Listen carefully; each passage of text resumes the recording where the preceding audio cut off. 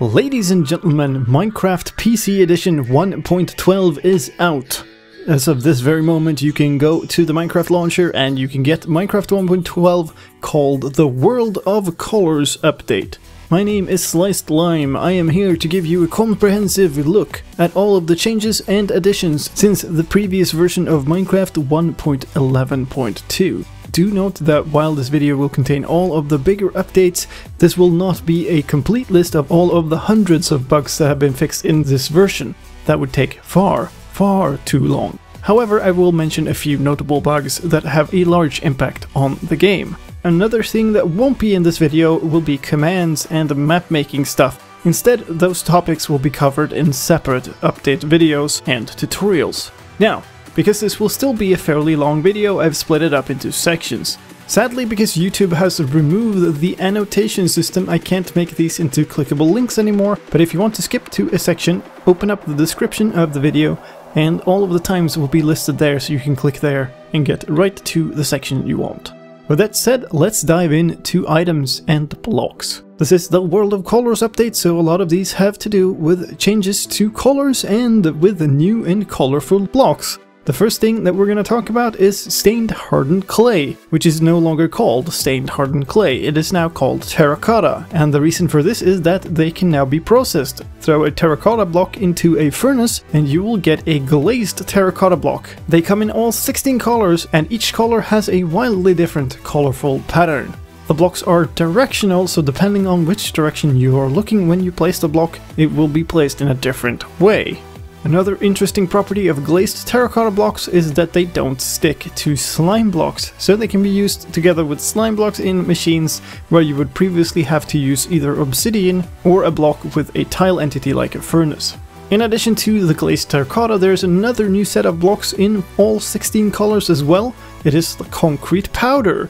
It has a grainy texture just like sand and it also falls like sand, but of course it comes in 16 different colors. This is a crafted block. You craft it from 4 blocks of sand and 4 blocks of gravel, plus the dye for the color you want the blocks to be in. Each recipe like this gives you 8 concrete powder blocks.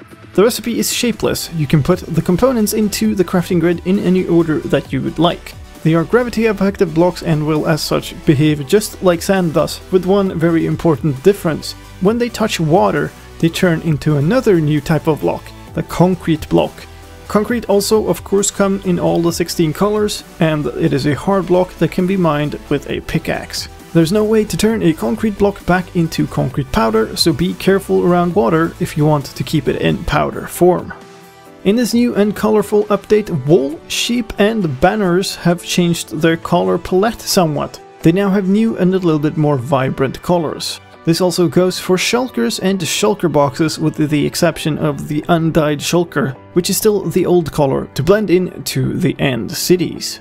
Beds also have colors now. In this update you can craft a colored bed either by using colored wool instead of white wool or taking a white bed and applying a piece of dye to it. There's also another change to beds. They are somewhat bouncy now, a bit like slime blocks are, except they don't negate all of the falling damage, and they don't bounce you quite as high. There are other changes to blocks as well that don't have as much to do with colors. Magma blocks now burn infinitely, just like netherrack does. Blocks that connect to other blocks, like fences or glass panes, now also connect to more different types of blocks. They will now connect to the backside of stairs, and you will be able to put a torch on the backside of stairs as well. Snow layers can now also be placed on top of upside down stairs, as well as on top of top half slabs. To round off this section, some changes to paintings. It's now easier to get the painting that you want when you're placing paintings through a new system. Paintings will now take up the maximum amount of space available to them when you place them, and select one of the available paintings for that size. If you want a smaller painting, restrict the area further, and if you want a bigger painting, make sure to remove any obstacles. Let's move on to the mobs section. We have a new passive mob in the game in Minecraft 1.12, the parrot. Parrots are passive mobs that spawn in jungles, in 5 different variants. They are a flying mob so they can fly around but they also sit down when they get a little bit tired. Parrots can also imitate the sound of other mobs, and they like to follow other mobs around when they do so. They spawn with 3 hearts of health, and when killed, they drop a feather and some XP. Parrots can be tamed and turned into pets using seeds. Right click on them with a seed and they will either tame showing some heart particles or they will fail to tame and show some black particles. Tamed parrots follow the player around just like other pets and will teleport to you if you are too far away. They can also be told to sit like other pets and in that case they will stop teleporting to you. When they are following you, they will sometimes fly to you and sit on your shoulder. You can have one parrot on each shoulder and they will sit on your shoulder as you move around. But if you jump, the parrots will get off your shoulder and they will also flee from your shoulders if you jump into water or if you take damage. Parrots can be fed cookies, but since chocolate is poisonous to parrots, and since the cookies in the game are chocolate chip cookies, feeding a cookie to a parrot poisons it and kills it immediately. Finally, the pets are party parrots. The parrots will dance when they are near a jukebox and that jukebox starts playing a record. Other pet news as well, pet dogs will no longer attack pet cats or pet parrots if you accidentally hit them. And all types of pets will no longer teleport into dangerous blocks like lava and fire. There's a new enemy mob in the game as well. It is the Illusioner Illager, it has no spawn egg, it doesn't spawn in the world, and the only way to get it into the world currently is to use a slash summon command, but you might still see this one in custom maps and such. This is a hostile illager type mob with 16 hearts of health. They will attack players, villagers and iron golems that come within 12 blocks of them. It is a wizard type enemy and it has two different spells can become invisible and create three or four illusion copies of itself. This is signaled by the spellcaster holding up his hands and blue particles appearing on those hands. Once invisible you can still see the particles and all of the clones will act just as the illusioner does. However, only the actual real illusioner will be able to take damage and attack. Any damage you manage to inflict to the real illusioner will cancel the spell. The second spell it has is a blindness spell. Will cast blindness on a target when you are playing on hard difficulty or above. This is signaled by the caster holding up his hands and the black particles appearing. The illusioner also has a bow which it uses to attack. One final change to the behavior of mobs, zombie pigmen will no longer prevent you from sleeping in a bed unless you have hit them or otherwise made them hostile first. Let's look at gameplay changes there is now a recipe book in the crafting interfaces. The recipe book is a little book icon that can be clicked to open up a searchable interface of items that you know how to craft. Recipe is unlocked to showing in this book on different criteria. Most items will unlock when you have the ingredients to craft that item, but there are some exceptions like boats, which unlock whenever you touch water, or torches that unlock whenever you have a stone pickaxe. To find a certain recipe in the recipe book, click on its category icon on the side or use the search field at the top. Recipes that require a 3x3 crafting grid do not show up in the recipe book when you are crafting in the 2x2 grid in the inventory. Whenever you unlock one or more new recipes, a toast will show up in the top right hand corner of the screen announcing this and showing you the icons of the things that you just learned to craft. Normally, you don't have to unlock a recipe to be able to craft it in the good old-fashioned way. Instead, crafting an item in the crafting grid will also unlock its recipe. However, there is a new game rule in the game. It is called Do Limited Crafting, and setting that game rule to true will disable crafting and recipe until you have unlocked that recipe. There's also a new item in the game called the Knowledge Book. This book cannot be found in normal survival, but you might find it in a custom map. Using the book will consume it and unlock one or more recipes for you to use. The recipes in the recipe book show up in different border colors. If you have the ingredients, the recipe border is white, otherwise the border is red. There's also an option button at the top to enable a mode where you can only see the recipes that you have the ingredients for. Any recipe that you do have the ingredients for can be clicked to move the ingredients for that recipe into the crafting grid. For recipes with several different variations, you can click and hold the mouse button to bring up a selection grid. Here you will see all of the different variations and whether you have the items or not. Shift-clicking a recipe will move as many items as possible to the crafting grid to craft as many as possible at once, and clicking normally several times over will increase the crafting amount one at a time. In other crafting news, if you put items in the crafting grid and then close the crafting window, those items will no longer pop out onto the ground. Instead, they will, if possible, be put back into your inventory. Other gameplay news. There are now tutorial pop-ups, hints, that pop up at the start of the game. If you've never seen these hints before, they will pop up until you've done them once and then go away forever. The first tutorial is about learning how to move around and jump. Once you've completed that tutorial, you will get a tutorial about knocking down a log from a tree and then to craft some planks from that material. If you in any way demonstrate your ability to do these things, the tutorials will skip, like if you've already got a plank in your inventory, or if you already have a log in your inventory, and so on. Some other noteworthy gameplay changes and the bug fixes.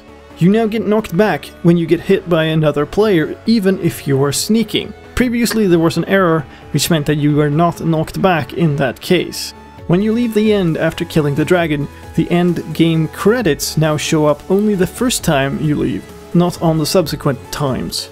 If you walk directly backwards and you look at that in the third person view, your character will walk directly backwards instead of somewhat sideways as it did before. And one final bug fix to mention when it comes to redstone. Hoppers and droppers can now feed items correctly into brewing stands again, even if the bottles had previously been pulled out by another hopper. This means that automated brewing systems start working again in this version. Let's move on to talking about advancements. Advancements are a new system that completely replaces the achievements in the game. In exactly the same place where there was an achievement button, there's now an advancements button. It opens a new window with a tabbed display for several categories of advancements and can also be opened with a new key. It's a keybind that you can change in the controls settings menu and the default button is L. By default in the game there are 5 categories, but this can be extended in custom maps by map makers. Each category is a tree-like structure spreading out from a single root advancement, and every time you get an advancement, the follow-up advancements show up in the display. For each advancement there is a name, a description and an icon, and some advancements also have a progress number towards which you are working along. The five vanilla categories are Minecraft, Husbandry, the Nether, the End, and Adventure. Many of the achievements from the previous versions have been turned into advancement in this one. However, there's also a whole load of new ones, so let's take a look at some of those. There's the Suit Up advancement which you get from protecting yourself with a piece of iron armor. And not today, thank you, for deflecting an arrow with a shield. There's now Hot Stuff for filling a bucket with lava, and the Ice Bucket Challenge for forming and mining a block of obsidian. The Cover Me with Diamonds advancement is for putting on a piece of diamond armor, and the Zombie Doctor one is for weakening and then curing a zombie villager. The Husbandry tab holds advancements related to food items, growing things, and to animals. The repopulation achievement has been replaced by the parrots and the bats. That goes for breeding any two animals together. That then leads to 2x2 which involves breeding all of the breedable animals. There's also a best friends forever for taming an animal, and a seedy place for planting a seed. That leads to a balanced diet which involves eating every single thing in the game, even the things that makes your stomach hurt. And finally there's the serious dedication advancement for completely using up a diamond hoe. The Adventure tab contains things related to adventure and exploration, the Monster Hunter achievement has moved into this tab, and it is followed up by Monsters Hunted, which now involves killing one of every hostile monster in the game. Here you will also find Take Aim to shoot something with a bow and arrow, and that leads into the good old sniper duel, killing a skeleton with an arrow from more than 50 meters away. And note that this is horizontal distance, so shooting down or up on a skeleton doesn't count. This also leads to Post-Mortal, which is using a Totem of Undying to cheat death. The Adventure tab also contains What a Deal for successfully trading with a villager, and Hired Help for summoning an Iron Golem to help defend a village. Finally, we have Sweet Dreams to change your respawn point by sleeping in a bed, which leads into Adventuring Time, the good old discover every biome in the game, advancement for 36 different biomes. The Nether tab unsurprisingly contains advancement relating to the Nether. Here we find the classics return to sender to destroy a ghast with a fireball and that leads into a new friend, Uneasy Alliance. That involves rescuing a ghast from the nether, bringing it safely home to the overworld, and then killing it. Sorry ghast friend. There's also a new challenge in here, called Subspace Bubble. This involves using the nether to travel 7 kilometers, that is 7,000 blocks, in the overworld. What this means is essentially exit the nether 7 kilometers or more away from where you entered it. Some other well-known achievements have moved into this one as well, as follow-ups to A Terrible Fortress, which involves breaking your way into another fortress. That leads to Into Fire, which is relieving a blaze of its rod, and Local Brewery, both of those known from achievements before. However, those lead into some new interesting challenges. A Furious Cocktail for having every potion effect applied at the same time. That means make sure that you get the effect from everything that you can brew. Not necessarily the second level, but every single type of effect. After that there's actually another advancement and it is the only one in the entire game that is a hidden challenge. That means that this challenge does not show up in your advancements pane until after you get it. It is called How Did We Get Here? And that involves having every single effect applied at the same time. So what is every single effect? Well, you have to have all of this at the same time. Speed, slowness, strength, jump boost, regeneration, fire resistance, water breathing, invisibility, night vision, weakness, poison wither, haste, mining fatigue, levitation, glowing, absorption, hunger, nausea, and resistance.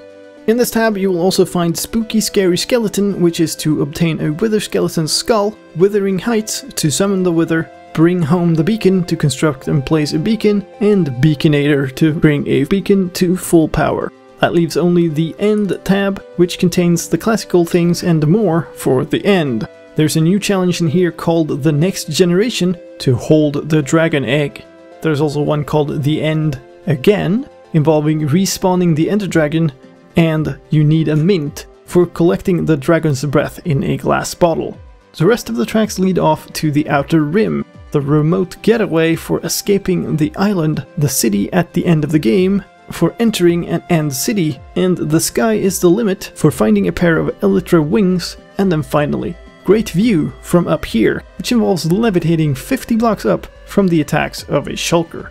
Some of the advancements also give a reward. These are not all of the advancements, but only the ones called challenges, the ones that pop up in purple text when you complete them.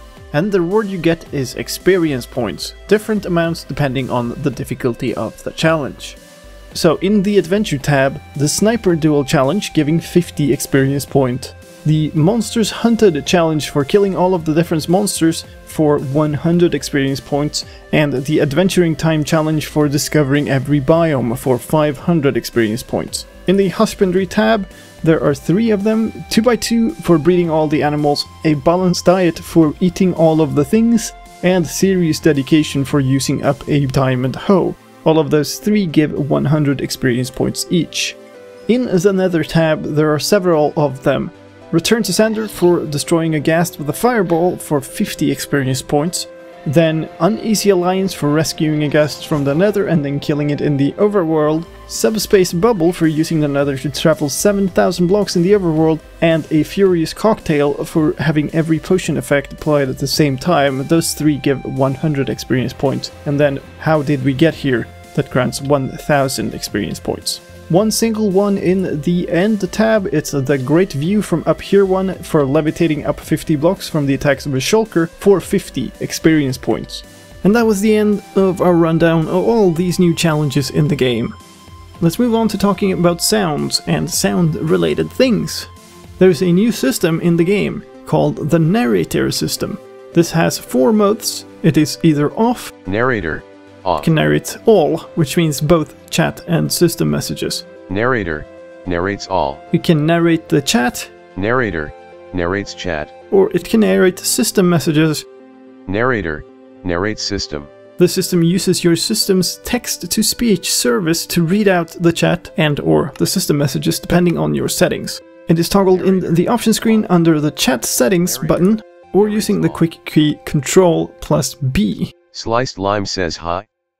I'm the new narrator feature, Reading all of the chat messages. For sounds in the game, there are new sounds for note blocks placed on different blocks. They are a xylophone sound for bone blocks, a bell sound for gold blocks, a flute sound for clay blocks, chimes for packed ice blocks, and a guitar sound for wool blocks. The default harp sound has also been updated. It is a very slight change, but it involves a little bit more reverb on the harp sound. Let's see if you can tell the difference.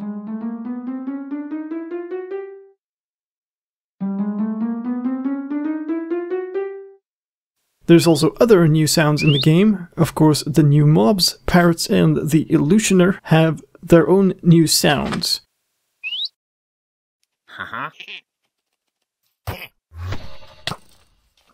But there's also sounds for things that existed before, like casting a fishing rod, reeling in a fishing rod, throwing an Eye of Ender, an Eye of Ender exploding or dropping to an item,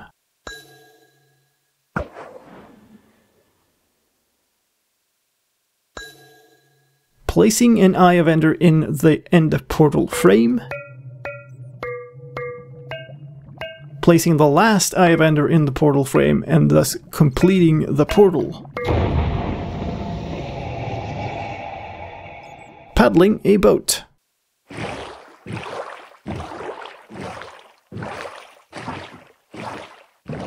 Paddling a boat on land.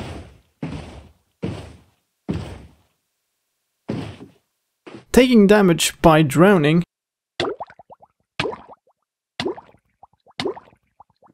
and finally taking damage by burning. For our last section in the video we're going to talk about a few changes to creative mode specifically. It is now possible to save and restore preset hotbar configurations in creative mode. To do this, hold down C and press a number to store that number's preset and hold down X and press the same number to restore that preset later. You can also see your saved hotbars in a new pane inside of the creative inventory. The rest of the creative inventory menu has also been reordered a bit. Materials and miscellaneous have been merged in order to find space for this new pane. And that, my friend, leads us to the end of the big list of changes for Minecraft 1.12. To get this version, simply point your Minecraft launcher to use the latest available version and it will download and run this version automatically. One thing I will mention is that this version is the first version to use Java 8. If you are using the new Minecraft launcher, it will take care of all of that for you and install the correct version of Java. If you are not using the launcher, you might have to upgrade your system Java runtime environment to be able to run this version of Minecraft. I hope you enjoy this new World of Colors version of Minecraft, and I hope you enjoyed this video as well. If you did, please help me out in return and leave a like on the video. My name is Sliced Lime, thank you for watching, and I'll see you in another video. Take care, bye bye.